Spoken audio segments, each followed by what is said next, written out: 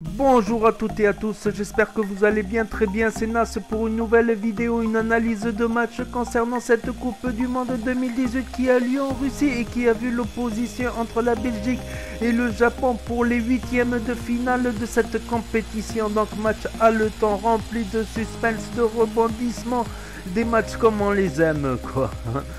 première mi-temps, aucune surprise, domination de la Belgique, 60% de possession de balles, pas mal d'actions et pas mal d'arrêts de gardiens héroïques japonais.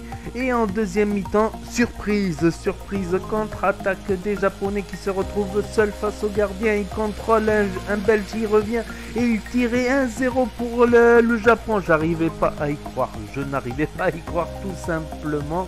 Et encore moins, j'arrivais encore moins à y croire lors du deuxième but japonais de la surface de réparation. Il évite un joueur et il tire, boum 2 à 0, je n'arrivais pas à y croire, franchement, c'était, euh, je me suis dit, euh, l'Italie euh, n'y était pas, l'Allemagne éliminée, le Portugal éliminé, maintenant la Belgique éliminée, l'Allemagne éliminée, je n'arrivais pas à y croire, quoi, l'équipe de Carrasco, d'Etienne Hazard, de Lukaku, compagnie, je n'arrivais, de Brune, je n'arrivais pas à y croire tout simplement.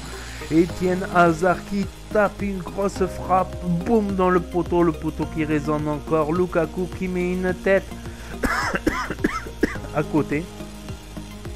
Jusqu'à cette égalisation de la tête, un ballon qui, qui, allait devant la surface et le gardien lobé, une balle lobée qui va dans, dans la lucarne opposée, un but incroyable quoi ensuite, euh, ben, la rentrée de Fellaini. Fellaini qui reprend sur un centre d'Etienne Hazard, il me semble, une tête, un boulet de canon, quoi. Il doit avoir les cheveux qui amortissent un peu, les cheveux qui, passent, qui font ressort, quoi, de Fellaini. Et c'était 2 à 1. 2 à 2 2 à 2 l'égalisation donc là les japonais ils étaient écroulés quoi mais ils ont bien joué franchement ils ont été faillants sur ce match ils ont failli faire l'exploit quoi puis euh, Saïdi dans les arrêts de jeu qui marque le troisième but de la victoire qui qualifie les Belges. Donc on connaît l'affiche de l'autre quart de finale, ça sera Belgique-Brésil. Et de l'autre côté, ça sera France-Uruguay, euh, Russie contre euh, la Croatie. Et demain, il y aura la Colombie contre l'Angleterre. Et il y aura aussi la Suède contre qui déjà? J'ai une perte de mémoire.